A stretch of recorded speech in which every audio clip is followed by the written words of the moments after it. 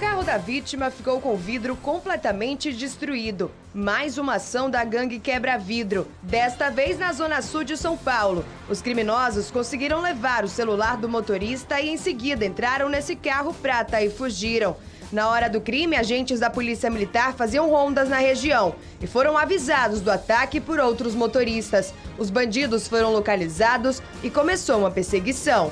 E após breve acompanhamento, eles abandonaram o veículo e empreenderam fuga a pé e as equipes conseguiram obter êxito na detenção. Os três bandidos, dois homens e uma mulher que estavam no carro, foram presos. Com eles, a polícia encontrou um celular que tinha sido roubado, além de uma quantia em dinheiro e uma vidia, a ferramenta usada por eles para quebrar o vidro dos carros. Tinha também um outro veículo envolvido este veículo estava estacionado numa rua ali próxima, era um HB20 prata.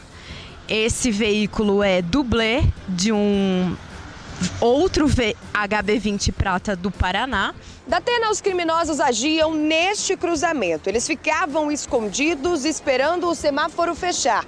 Um dos bandidos era responsável por observar e escolher o alvo, o motorista que estivesse mais desatento. Nós detectamos num desses roubos de quebra-vidro que essas quadrilhas já têm destino certo para vender os celulares.